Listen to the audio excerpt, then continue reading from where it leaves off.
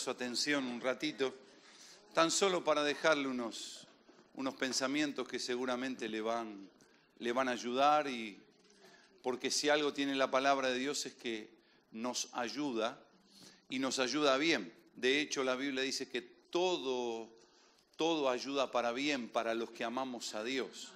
A ver si dice conmigo, yo le amo a Dios. Yo algo, algo, algo decía hoy por la mañana en, en Barcelona, ¿no? Que la medida de amor o de amar a Dios no la podemos, no la podemos sino mirar a través del, del Hijo modelo que es Jesús. Cuando alguien pregunta qué es Jesús, es un hijo modelo, es el modelo, es el prototipo. Y si uno quiere, si uno quiere eh, agradar a su Padre, a Dios, tiene que aprender del prototipo. Tiene que mirar el prototipo, tiene que mirar el modelo y cómo se desenvolvió el modelo.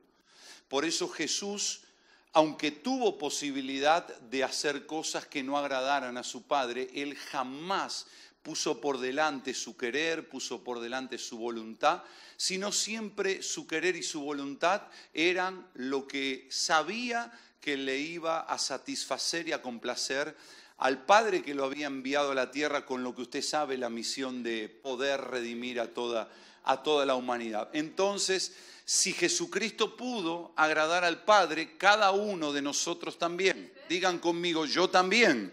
O sea, yo también lo puedo complacer, yo también lo puedo satisfacer. Ahora, no hay manera de poder complacerlo y poder satisfacerlo si no sé lo que a él le complace y lo que a él le satisface. Y tampoco no hay forma de, complacerlo y satisfacerlo si este libro es algo esquivo para alguien si este libro no lo manejo o no es el libro que sea el libro principal en mi vida, porque este libro tiene, contiene todo lo que necesito para mi vida espiritual, pero también para las demás áreas de mi vida. Mi vida mental, mi vida de alma, mi vida emocional, mi vida física, mi vida social, mi vida financiera, mi vida en todos los aspectos está acá en este libro. Por eso cuanto más usted quiere conocer a Dios, más tiene que ir conociendo la palabra de Dios. Y cuanto más quiere agradar a Dios y amarlo a Dios, más tiene que ir a la palabra de Dios. ¿Verdad? Digan conmigo, la palabra de Dios es todopoderosa. Entonces, em, habíamos quedado algo en deuda, no sé, que sea por lo menos dejar algunos detalles. La semana anterior de, poder compartir, yo no lo pedí. Y, es, algo, es algo bien interesante Em, si usted tiene la palabra de Dios en Segunda de Reyes, capítulo 4, porque em, eh, hace algunos años yo hablé aquí de, de la tsunamita, pero bajo un enfoque, y ahora el Señor me vuelve a traer bajo otro enfoque. Una mujer tsunamita eh, es interesante porque hay algunas cosas que empiezan a ocurrir por causa de que ella entendió y conoció algo. Entendimiento y conocimiento siempre me abren puertas para experiencias que no tuve. Entendimiento y conocimiento siempre me llevan a un camino que no transité. Eh, entendimiento y conocimiento siempre me van a llevar a una dimensión que no, que no ingresé. Y ella lo va a experimentar. Si, si lo ponen, lo tienen allí, Segunda de Reyes 4, el verso, eh, Cristina, el 8. El 8 dice, el 8. Aconteció también que un día pasaba Eliseo por Sunem. Una de las cosas que recuerdo que dije la vez que hablé de esto, Sunem, Sunamita. La Biblia dice que el ejército de David tenía 200 entendidos en los tiempos y la tsunamita era de Sunén, eran de los que entendían los tiempos. Por eso digo, nosotros si entendemos el tiempo que Dios nos está haciendo vivir, por qué nos está haciendo vivir, para qué nos está haciendo vivir, nuestra vida cambia definitivamente en el enfoque radicalmente. Y había allí una mujer importante que le invitaba insistentemente a que comiese y cuando él pasaba por allí venía a la casa de ella a comer. Em, ella dijo a su marido, he aquí ahora yo entiendo he aquí ahora yo entiendo. la invitaba, entraba a la casa, comía, pero he aquí ahora yo entiendo, tuvo un tiempo para entender. Siempre que entiendo, le cancelo toda posibilidad al diablo de que me robe la semilla de la palabra porque San Mateo 13 dice, el que oye la palabra del reino y no la entiende, viene enseguida el malo y quita, arrebata la palabra que se sembró en él o en ella. Dice que este siempre que pasa por nuestra casa es varón, o el original dice es un hombre santo de Dios. Em, dice, yo te ruego que hagamos un pequeño aposento de paredes y pongamos allí cama, casa, mesa, silla y candelero. Esto también, eh, sobre esto me basé la, la vez que lo enseñé. Cama significa reposo, mesa significa comida, abundancia, silla significa trono, candelero significa luz, revelación, para que cuando Él viniera a nosotros se quede en Él. Algo interesante, ya no queremos que pase, ya queremos que se quede. Hay cosas que no tienen que pasar en su vida, hay cosas que se tienen que quedar en su vida para siempre. Hay cosas que no se tienen que ir más de su vida. Si usted sabe cómo hacer para que se queden en su vida. Dice, y aconteció que un día vino él por allí, se quedó en aquel aposento y allí durmió. Eh, y entonces dijo y su criado, llama a esta tsunamita. Y cuando la llamó, vino, vino ella delante de él. Dijo él entonces a Giesi, dile, he aquí tú has estado solícita. Acuérdese, los que leen la Biblia recordarán, Proverbio dice que un hombre, una mujer solícita estará delante de los grandes. Dice, por nosotros con todo este mero, ¿qué quieres que haga por ti? Necesitas que hable por, el por ti al rey. Ahí hay una palabra profética, revelacional, un rema tremendo, no, sé si lo podré decir, por lo menos al final a ver cómo. O al general del ejército, y ella respondió, yo habito en medio de mi pueblo, o sea, no lo necesito. Y él dijo, ¿qué pues haremos por ella? Giesi respondió, he aquí que ella no tiene hijo y su marido es viejo. Muy similar a lo que vimos en Semana Santa sobre Sara pero desde otra perspectiva porque era hijo de promesa. ¿no? Entonces dijo, eh, llámala, él la llamó, ella se paró a la puerta él le dijo, el año que viene por este tiempo abrazarás un hijo. Ella dijo, no, Señor mío, varón de Dios, no hagas burla de tu sierva. Eh, mas la mujer concibió, dio a luz un hijo el año, siguiente, en el tiempo que Eliseo le había dicho. Dice, eh, y el niño creció, pero aconteció un día que vino a su padre que estaba con los segadores, los cosechadores, en tiempo de cosecha. Digan, estamos en tiempo de cosecha. Dijo a su padre, ay mi cabeza, mi cabeza. El padre dijo a un criado, llévalo a su madre. Em, y dice, y habiéndolo él tomado y traído a su madre, estuvo sentado en sus rodillas hasta, que hasta el mediodía y murió. Digan por favor, y murió. Digan otra vez, y murió. Ahora, después seguimos, eh, seguimos leyendo un poquito más. Pero lo interesante es que la experiencia que tiene la tsunamita eh, mm, tiene un montón de codificaciones que nosotros las podemos extraer para nuestro tiempo hoy hay un montón de cosas que si las codificamos son importantes y son aplicables para nuestra hora y para nuestro momento. ¿Por qué? Porque ella está en casa. Digan conmigo, ella está en casa. Digan, yo estoy en casa. O sea, no solo casa física, iglesia, no solo casa, eh, nuestro hogar natural, sino también esta casa. Pero ella estando en casa, hay algo que es interesante porque muchas cosas sobrenaturales ocurren en casa. Porque lo que le ocurre a ella no es natural, es sobrenatural. Acuérdense las dos condiciones, estéril y el marido viejo, las dos condiciones que le estarían impidiendo para que naturalmente ella pueda tener pueda tener este, un hijo. Entonces, las casas en aquel tiempo, es interesante, porque las casas en aquel tiempo eran de una sola planta, eran un, solo, e, es como si fuera todo, eh, todo este, eh, este, este edificio debajo. Y entonces ella dice, hey, le dice al marido, yo entiendo que este que pasa siempre por acá es un hombre de Dios. Vamos a hacer algo, vamos a construirle algo. Digan conmigo, siempre que hago algo, va a pasar algo. Pero es, es, parece de manual, pero a cuánta gente cristiana le cuesta aceptar que el hacer algo hará que Dios haga algo. Parece de manual, porque en realidad Eliseo pasaba, pero no pasaba nada.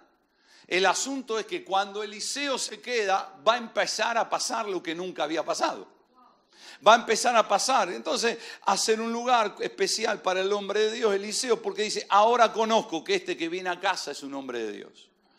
O sea, hay una correlación directa con el periodo de Eliseo con Elías. ¿Por qué? Porque ¿qué había pedido Eliseo? Usted lo puede buscar en Segunda de Reyes 2 después en casa. ¿Qué era lo que le había pedido Eliseo a Elías? Y uno de los detalles, porque la Biblia es un libro de detalles, Eliseo sabe que Dios se lo lleva a Elías. Entonces Elías le dice, mira, ¿qué es lo que querés que yo haga antes de que yo me vaya? Y Eliseo le dice, una doble porción de tu espíritu. Cosa difícil has pedido. En el Evangelio no existe el imposible, pueden existir las cosas difíciles. Digan conmigo, las cosas difíciles no son imposibles. Pero le marca un punto de inflexión. ¿Cuál es el punto de inflexión que Elías le marca? Si me miras, si me observas, si estás atento, si estás enfocado, cuando yo sea, levantado, esa doble porción será tuya. ¿Cuál sería? Y tiene una enseñanza aplicable.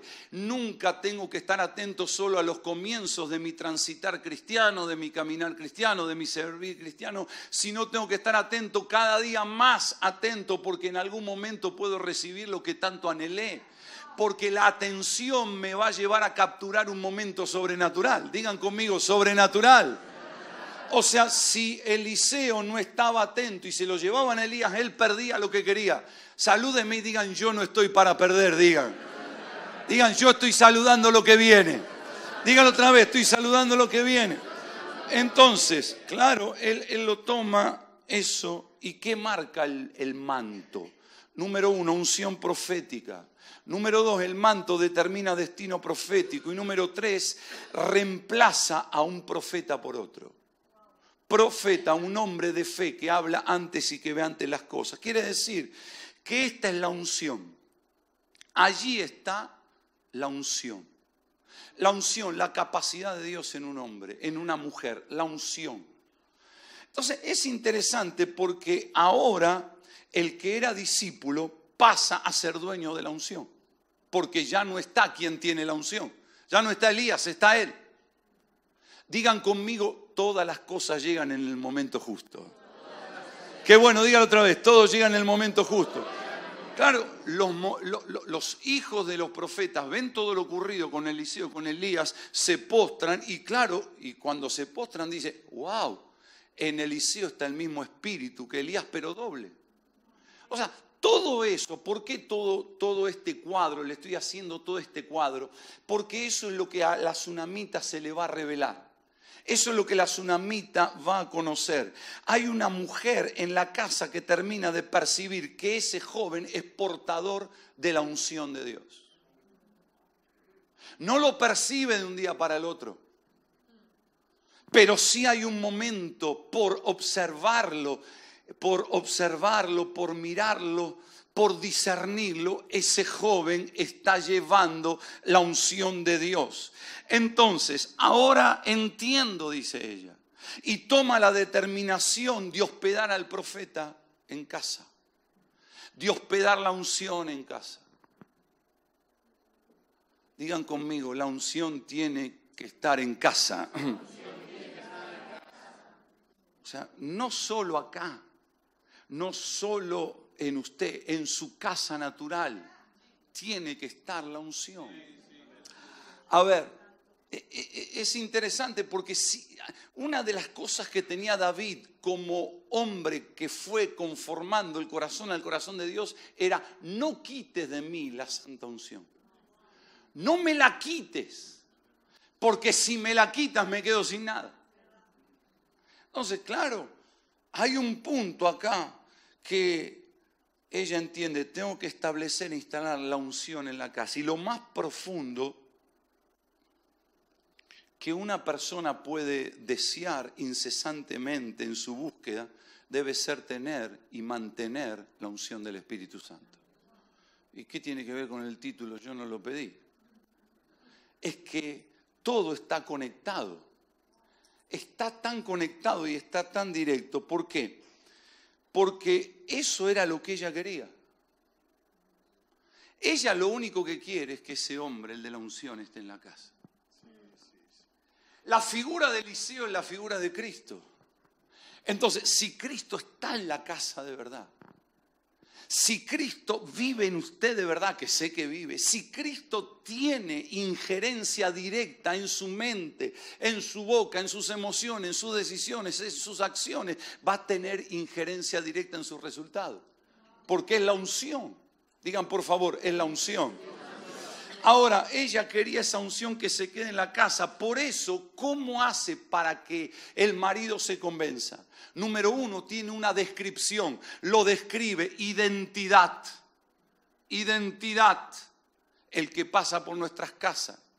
Número dos, lo describe y dice, sobre este que pasa sobre nuestras casas hay algo hay algo diferente, es un santo varón de Dios, un hombre de Dios.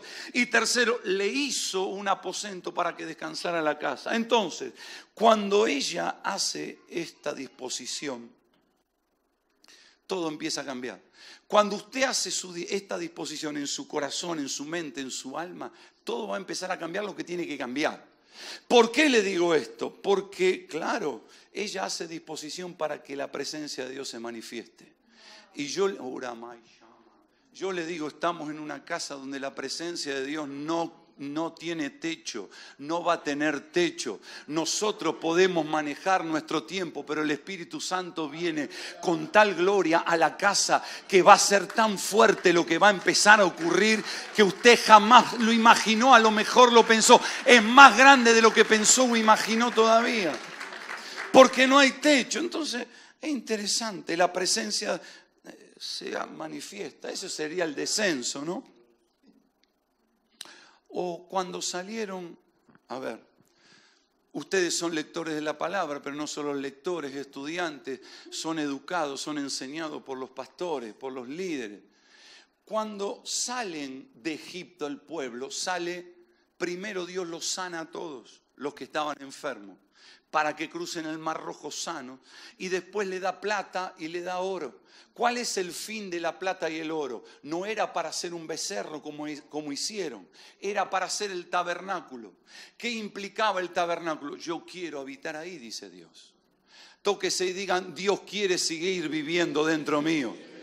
Otra vez, Dios quiere vivir dentro mío. Entonces, cuando el pueblo produce una habitación de adoración, obediencia, de alabanza, ella se da cuenta de eso, entiende que Dios habita en la alabanza, en medio de la alabanza de su pueblo. Entonces, todo lo va entendiendo. Unción Eliseo, todo esto, y no la quiere fuera de la casa. No quiere que se vaya, quiere que se instale. Porque cuando se instala en casa lo que se tiene que instalar, se va de casa lo que se tiene que ir. Voy de vuelta. Cuando se instala en casa lo que se tiene que instalar, se va lo que se tiene que ir. Cuando la, la presencia es una visita, lo que se tiene que ir no se va, porque está instalado. Pero cuando la presencia uno decide instalarla, lo que no es lo que no es presencia se va a tener que ir. Se va a tener que ir. Apláudale si lo desea el Señor. Ahora, claro, la condición de ella, muy similar a la de Sara, estéril, infértil, improductiva para tener hijos, eh, pero el punto mío es que ella no pide nada. Y acá empieza el asunto. Ella no pide nada. El que toma la iniciativa es Eliseo por agradecimiento. Ella no pidió nada a cambio. Ella no dijo, soy estéril, no tengo hijo y quiero un hijo.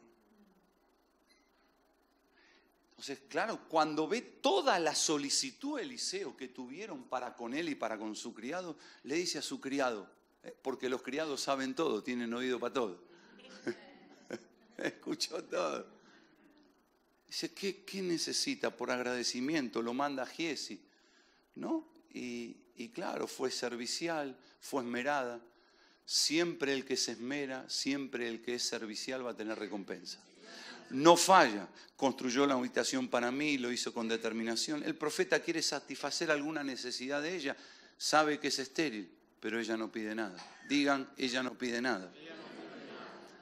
Quiere decir que cuando la unción está en casa, y entiéndamelo, no digo que no hay que orar, pero hay cosas que no, ni siquiera voy a necesitar pedirlas. Porque hay veces uso la oración para no tener acción. Uso la oración para no tener acción. Ella usó la acción directa. Lo recibía, pasaba por la casa, lo atendía, se iba, comía. Ahora dijo, se tiene que quedar en casa.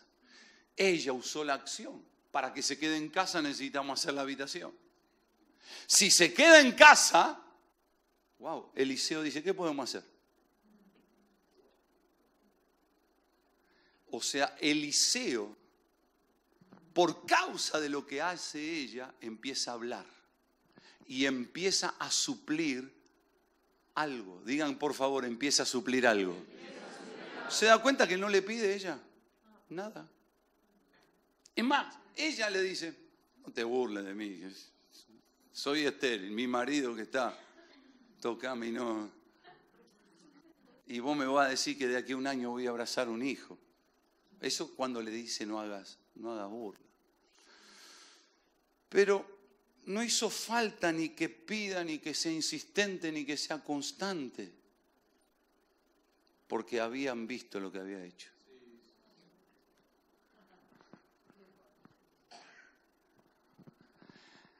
Aunque muchas veces nosotros no veamos lo que alguien puede hacer o lo que uno puede hacer, Dios lo está viendo. Cuando uno hace algo para quien lo tiene que hacer, como lo tiene que hacer, de la manera que lo tiene que hacer, va a aparecer aquello que no tengo, que es imposible tenerlo desde los niveles naturales, porque era imposible. Pero como no hay nada imposible, ¿no? ¿No va a cantar hoy? Cantó mucho en la mañana y a la tarde no me cantó nada. No, usted canta para el Señor. Pero es para pensar. Es para pensar. Entonces, no hizo falta pedir, no hizo, no hizo falta rogar, solo trasladar la unción del hombre de Dios.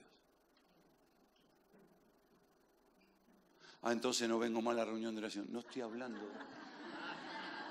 Yo ya, alguno que le conozco la cabeza por dentro, entonces no oro no está hablando de eso es que vuelvo a repetir, hay veces orar es una salida para no actuar.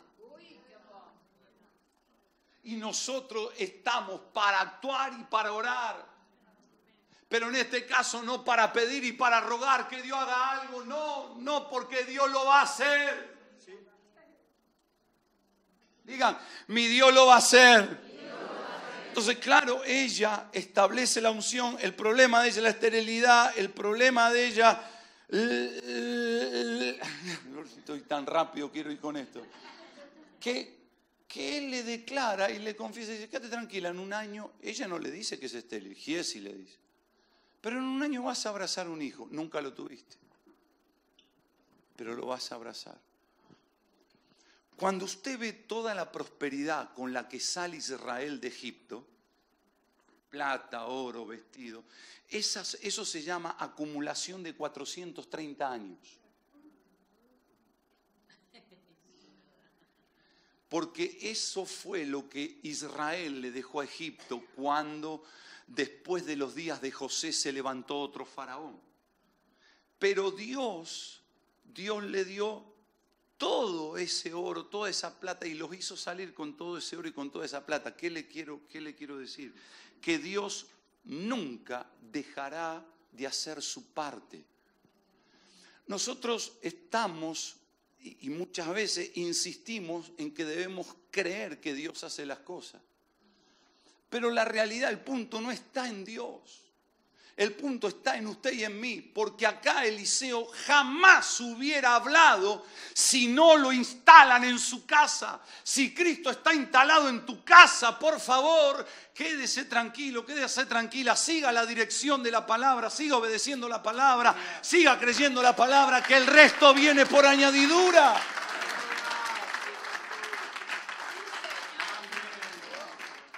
Entonces, claro, la unción del varón de Dios sin embargo, tiene un problema a resolver y se lo resuelve. un problema, una disyuntiva y se lo resuelve la esterilidad, la percepción, la imagen de vientre vacío, lo que hablamos si quieren Sara, la imagen de tantos años de no tener un hijo suyo en la mesa. Pero ahí tiene la proyección. ¿A quién sentaba ella en la mesa? ¿A quién sentaba? A Eliseo. Eliseo es la proyección del hijo que venía. Ay, ay, ay, lo digo de vuelta. Eliseo es la proyección, porque ella no podía por todos esos años sentar un hijo porque no lo tiene, pero tiene la proyección. Tiene a Eliseo, lo veía como, eh, como una eh, proyección, una influencia del hijo que no había tenido, pero que lo iba a tener. Y yo estoy, mire, no convencido, estoy completa, archi, ultra, convencido de que muchos van a abrazar tantas cosas en este momento. Por eso digo, no hizo, no hizo falta ni que lo pida, no hizo falta que sea constante, no hizo nada. Todo lo que le habían preguntado ni siquiera responde. Ella no responde.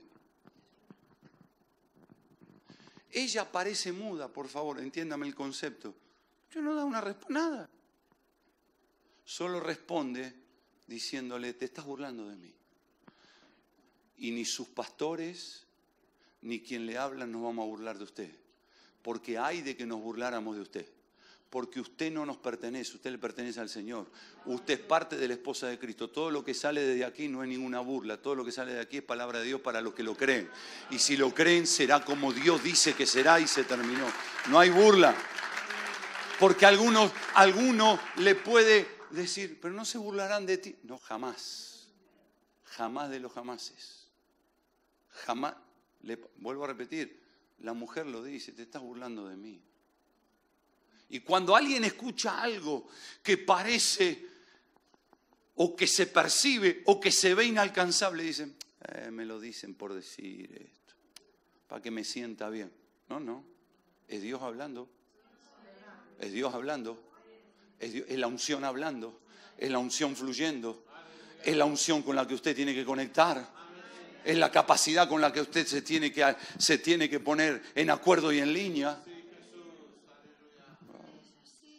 Entonces, claro, establecer, porque esto es lo que Dios está planteando y está expresando en este tiempo, establecer la unción, hacer lugar a la unción en casa alabar. Porque la pregunta sería, ¿qué hay en tu casa también, en tu casa natural?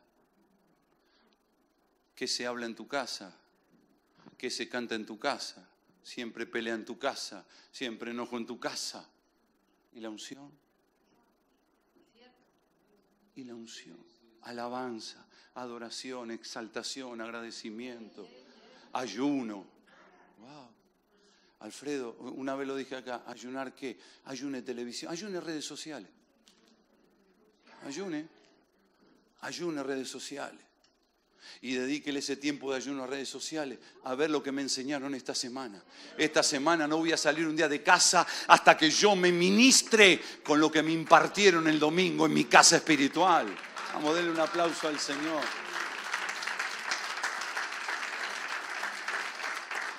Por eso eh, usted y yo tenemos que instalar al varón santo de verdad, que es Jesucristo. Darle lugar a Jesucristo. Digan conmigo, darle lugar. Porque la crisis que ella tenía la resolvió sin pedir ayuda. ¿No dice la Biblia que la unción pudre los yugos? ¿Qué yugos, Alfredo? ¿Qué significa yugos? Por eso Jesús dijo, lleven mi yugo. ¿Qué yugo? Yugo tiene que ver con ideología, tiene que ver con pensamientos, tiene que ver con creencia, porque mucha ideología, mucho pensamiento, mucha creencia que podemos tener instalada no coincide con lo que Dios establece en su modelo y diseño.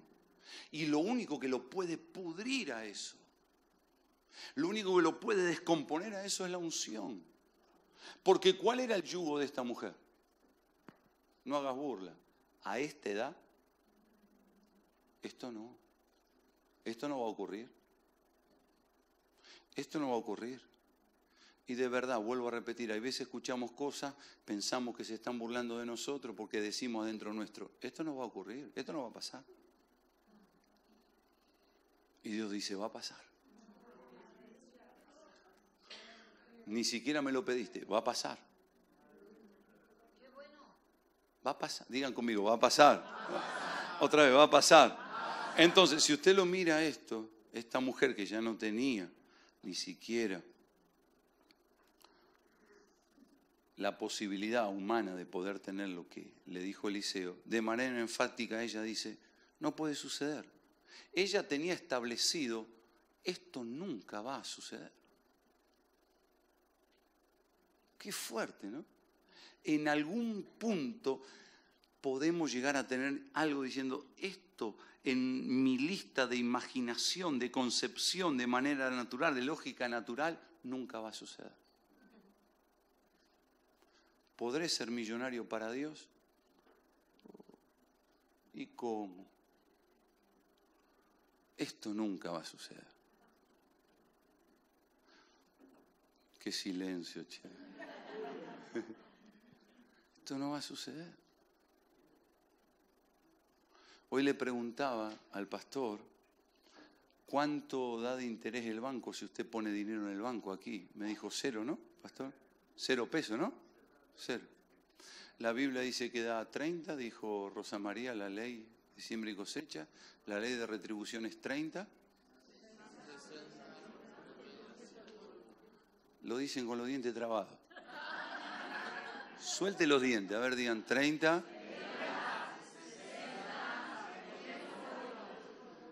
Si somos honestos, que creo que lo somos, y usted hace un balance de su mes, el lugar donde menos invertimos es la iglesia. No, pero si yo devuelvo el diezmo, eso no es inversión, eso no es siembra. Eso no es nuestro. Bueno, pero no viene el caso. ¿Pero por qué? Porque lo razonamos desde una mirada diciendo, no puede ocurrir esto. No, que, que el banco del cielo me dé el 30, no, no puede ocurrir. No puede pasar. Y que el 60, no puede pasar. Peor todavía. El 100, ya menos. Me está estafando, se están burlando de mí. Digan conmigo, jamás. Digan otra vez, jamás. Entonces, wow, ya pasó el tiempo, dijo ella. Pero cuando se establece la unción en la casa, aparece el tiempo. Pasó el tiempo, naturalmente, pero cuando establezco la unción, porque también para todo eh, eh, funciona la unción. Para la finanza también funciona la unción. Si no, pregúntele a José. Para la finanza funciona, para todo. Pero cuando se establece la unción en la casa, aquello que está en la, en la nómina de que nunca va a pasar, se canceló. ¿Se canceló? Ahora se hace realidad porque se establece esta unción. Y atento acá. Esto ocurre de puertas hacia adentro, bajo el techo de la casa. Por eso es clave bajo el techo de nuestra casa cómo nos administramos y cómo nos manejamos. Hay esterilidad que ya tiene. Uno, el niño nace, y acá empieza mi mensaje, el niño nace ¿Qué pasa? Se establece la unción en la casa, se va la esterilidad, el niño nace, el niño crece y el niño se muere. Seguimos leyendo unos minutos. ¿De dónde estábamos, Cristina, por favor? El, 20, 21. Ella entonces subió y lo puso sobre la cama del varón de Dios ya tiene un principio tremendo ahí. Mire, mire ahí. yo, siempre lo digo, yo le agradezco que me miren porque soy irresistible. Es difícil, es difícil resistir tanta belleza. Gracias. Ya la estoy extrañando, así que... Miren, un, un, un segundito, miren, miren el texto. Mírenlo. Ella entonces subió y lo puso sobre la cama del varón de Dios, donde reposaba quién? La unción. Donde reposa la unción. Pero miren, ¿cuál es el detalle? Y cerrando la puerta, se salió, se fue. ¿Qué se hace normalmente con un niño o con una persona cuando muere? Se le prepara el funeral. No sé, bueno, al menos en mi país, acá no, acá qué hace, que lo queman, qué hacen, no sé, lo cuelgan de, ¿no? Claro, normalmente se prepara un funeral. Pero ella no. Ella no va a preparar un funeral. Yo no lo pedí. Así que la demanda que te hago es, si yo no lo pedí, a mí no me venga con esto. Cerró la puerta. No, Jehová dio y Jehová quitó. No, querido. No, no, no, no. Seguí, por favor, Cris. Llamando luego a su marido le dijo, te ruego que envíes conmigo a alguno de los criados y una de las sanas para que yo vaya corriendo al varón de Dios y regrese. No hay funeral. Digan conmigo, no hay funeral. Ah, pero esto era para la semana pasada, no, pero el pastor se adelantó la otra resurrección. Él dijo, ¿para qué vas a verle hoy? El viejo siempre fuera de órbita. No es nueva, no es nueva luna ni día de reposo. Ella dijo, paz. Tranquilo. Después hizo enalbardar el ane y dijo al criado, guía y anda y no me hagas detener el camino, sino que cuando yo te lo dijere. Partió pues y vino al varón de Dios al monte Carmelo. ¿A dónde fue? A la unción. Fue a la unción. Por eso al niño lo pone en la cama donde reposa la unción. Algo va a pasar. Digan conmigo, algo está pasando. Dígalo otra vez, algo está pasando. Le hace una demanda, va al profeta y un reclamo y le dice, si yo no te pedí nada, ¿para qué me hace pasar por esto? Yo no te lo pedí. Muy bueno. La verdad que es así. ¿Para qué me diste esto? ¿Para que yo esté sufriendo ahora? Encima que era estéril, que yo no te lo pido, me lo da, crece y se me muere. Entonces, ¿no somos así nosotros? Señor, no era así Marta, sin mi hermano, no hubieras estado acá. Siempre estamos reclamando. En términos racionales, la valoración de ella es correcta. Cuidado acá, voy de vuelta. En términos racionales, la valoración que hace la tsunamita es correcta. Yo no te lo pedí a este hijo. Fuiste tú el que dijiste que en un año lo iba a tener. Y se ve que funcionó. Porque el viejo funcionó para poder engendrar. Lo que, lo que hablamos de la edad y de que... Está contento el viejo, a ver si todavía... Vamos, eh, vamos viejito, vamos que... Sin azul, sin nada, para adelante con la unción. Igual yo no te oro, te ora el pastor, por la unción de... Ok. Pastor, por favor. Entonces, Claro. Pero si me lo dieron, ¿por qué me lo están quitando ahora? Puede ser arrancar. ¿Por qué me lo están quitando? Yo no te pedí esto para que me lo quite. Valoración correcta en lo natural. Entonces, ¿cuántas veces usted le dijo a Dios, me diste algo, yo no lo pedí, ¿para qué me lo diste? Es el planteamiento de muchos. Pero allí hay una actitud, vuelvo a repetir, ella lleva el hijo al aposento. Ubicación. La unción me hace colocar las cosas en el lugar donde las tengo que colocar. Cuando camino en unción y bajo unción y bajo, de un, bajo un manto de unción, no solo sacerdotal, sino apostólica, sino una unción paternalista, me va a llevar a vivir ubicado y a poner las cosas en el sitio que tienen que estar puestas.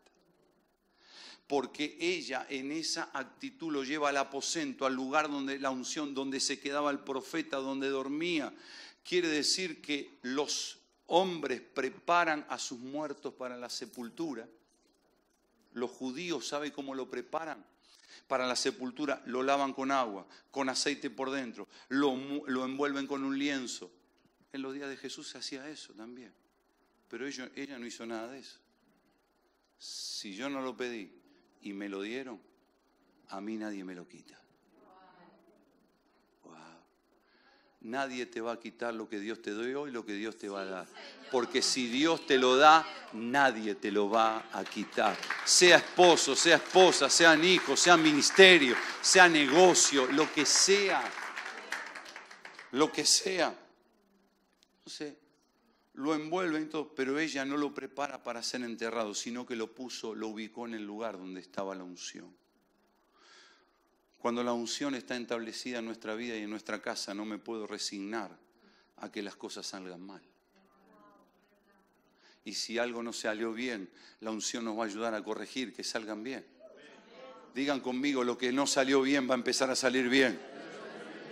Lo que salió bien va a salir mejor lo que salió mejor va a ser más excelente. Entonces, claro, claro, no avance, vas a avanzar por la unción. No crece, vas a crecer. No vas a ir para atrás, no se resigne a las pérdidas. Porque por más que en pandemia haya cosas que se han perdido, se están recuperando y se van a recuperar con los intereses correspondientes. Se van a restaurar todas completas. El que lo cree, salúdeme y lo creo. Digan, lo creo. Y si algo Dios le dio y está muerto, tiene que resucitar, va a resucitar. seguí, por favor, un poquito más. Te ruego que vayas ahora corriendo a recibirle y le digas, ¿te va bien a ti? ¿Le va bien a tu marido? ¿Le va bien a tu hijo? Y ella dijo, bien. ¿Está mintiendo? No, llama las cosas que no son como si fuese. Porque para ella no había posibilidad de entierro. No hay posibilidad, si está la unción, de que queden enterrados aquellos planes divinos que Dios le ha revelado a usted para usted y para su casa. No hay posibilidad. No hay posibilidad. Dice, luego que llegó a donde estaba el varón de Dios en el monte, se asió sus pies y se acercó Giesi para quitarla, pero el varón de Dios le dijo, déjala porque su, alma, porque su alma está en amargura. Pero fíjese qué interesante, no habla desde la amargura estoy bien. Porque podía haber ¿no? hablado otras cosas. El Señor me ha encubierto, ¿ve el profeta ubicado? No lo tengo revelado, no sé qué le pasa. Y no me lo ha revelado el motivo. 28. Ella dijo, pedí yo hijo a mi Señor. Ahí lo tiene.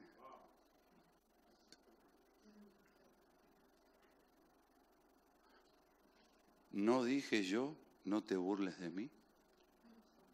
Ahí lo tiene. Yo no lo pedí. Entonces dijo él a Giesi, ciñe tus lomos, toma mi báculo en tu mano, ve, si alguno te encontrare no lo saludes, si alguno te saludare no le respondas y pondrás mi báculo sobre el rostro del niño. Manda un servidor, claro, a Giesi. Giesi todavía no está leproso. Giesi era el, candidato a heredar la unción de Eliseo. Un poquito más. Ah, dijo la madre del niño, vive el Señor y vive tu alma, que no te dejaré. Él entonces se levantó, la siguió, Giesi había ido delante de ellos, había puesto el báculo sobre el rostro del niño, pero no tenía voz, no tenía sentido, así que había vuelto para encontrar a Eliseo. Se lo declaró diciendo, el niño no despierta. Y ella sigue insistiendo, yo no lo voy a enterrar. Yo no voy a dar ese paso. Digan conmigo, hay pasos que no voy a dar. Otra vez, hay pasos. Entonces, wow. Noticias, noticias de muerte, noticias de desesperación, noticias de guerra, noticias que deprimen, noticias que amargan todo el tiempo y te las repiten y te las repiten y durante las 24 horas la escuchamos la misma noticia, la ley de la repetición todo el tiempo y para arriba y para abajo y la gente se cae, se desanima y la gente baja los brazos y no digo solo la gente no cristiana, hay cristianos que bajan los brazos, se deprimen, dice, no, esto no va a llegar, no va a ocurrir, no va a suceder. Wow, ¿Para qué? ¿Para qué todo eso? Para producir paranoia. Hay gente que está paranoia, que tiene una paranoia con todo esto que está pasando. Ah, trajo esto tantos problemas. Pero si está la unción, está la solución. Aunque no lo hayas pedido, aunque algo esté muerto. Yo de verdad, yo no le pedí el ministerio al Señor que Él me dio pero tenía dos opciones, o lo agarraba o lo dejaba. Y después que me iba a poner a llorar. Ay, mira lo que me dijeron. Ay, mira lo que me hicieron. Ay, mira el puñal que me clavaron. De gloria en gloria, de triunfo en triunfo, de victoria en victoria, de poder en poder, de bendición en bendición. Entonces, hay problemas que realidad, si está la unción de Dios, no deberían estar en su vida. Cuando digo que no deberían estar, no que no vengan, pueden venir, pero como vinieron por causa de la unción, se tienen que ir. Digan conmigo, se van a ir. Otra vez, se van a ir. Entonces, un poquito más. Todo esto ocurre en la casa de la tsunamita. El niño es profetizado en la casa, el niño es concebido en la casa, el niño es nacido en la casa, el niño se muere en la casa. Todo ocurre. Aparece la mujer, número uno, de mandar al profeta. Él manda a su servidor con el báculo. No resulta. ¿Por qué? Porque hay cosas que solo las puede hacer directamente Dios. Y si usted está en Él, hay cosas que solo las va a hacer Él a través de usted y en usted. Finalmente va el profeta. A ver. Venido Eliseo a la casa, he aquí que el niño estaba muerto, tendido sobre su cama. ¿Usted cree que el niño no tenía cama? Pero no fue a su cama, fue a la cama del profeta. Entrando él entonces cerró la puerta tras ambos y oró al Señor. Después subió y tendió sobre el niño, se tendió poniendo su boca sobre la boca de él. Wow. Interesante. Sobre él sus ojos, sus manos, así tendió sobre sobre él y el cuerpo del niño entró en calor. Seguí, por favor. Volviéndose luego, se paseó por la casa a una y a otra parte. Digan conmigo, se paseó sobre la casa. Wow. Fíjese, interesante. Hay un proceso de resurrección acá. No lo provoca Eliseo, lo provoca la mujer que dice, yo no lo pedí y esto no, se, no, esto no termina así. Digan conmigo, mi vida no termina sino como Dios quiere. Entonces, algo que está muerto, que puede estar muerto, y decir, eh, mi vida, liderazgo, lo que fuera, puede resucitar, va a resucitar. Empieza la intervención sobrenatural y milagrosa tras la puerta cerrada. No entra nadie. Hay cosas que son entre Dios y uno. Eso se llama intimidad. No entra nadie, no deje entrar a nadie en su mente, en sus oídos, que nadie le diga nada. Entonces, el proceso entre algunas cosas que realizó fue caminar. Iba de un lado a otro de la casa. La unción no es algo estático, la unción es algo dinámico, tiene que caminar, tiene que estar en movimiento, porque la unción es la capacidad de la vida de Dios en.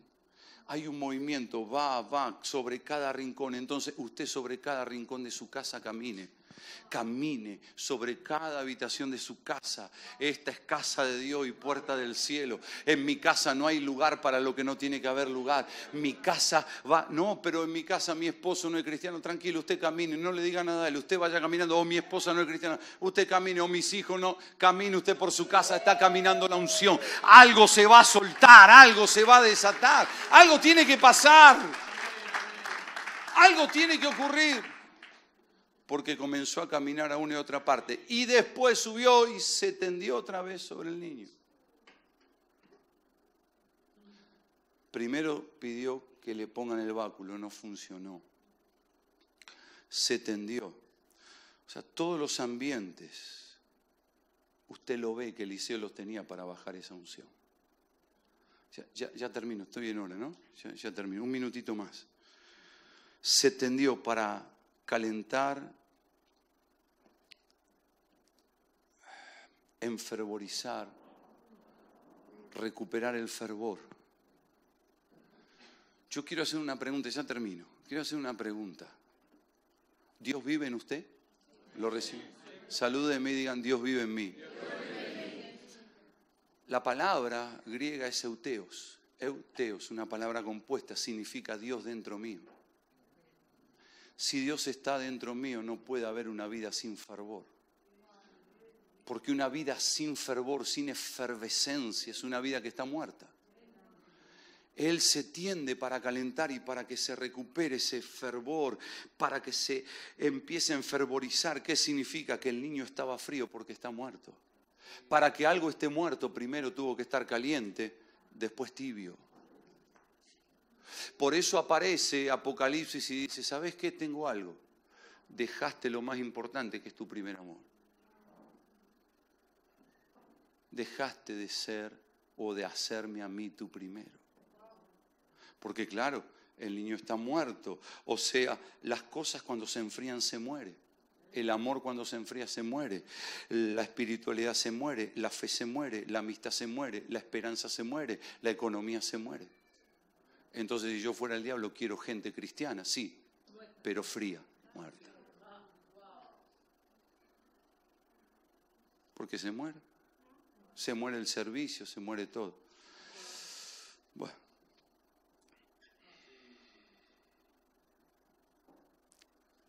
Una persona fría muere en el entusiasmo. Y lo que hace Eliseo es desparramar unción, traer vida, traer calor yo creo que este es un muy buen tiempo para que siga reactivando el calor de las, aquellas cosas que se enfriaron en su vida.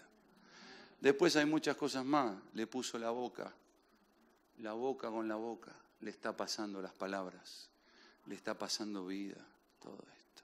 Póngase de pie.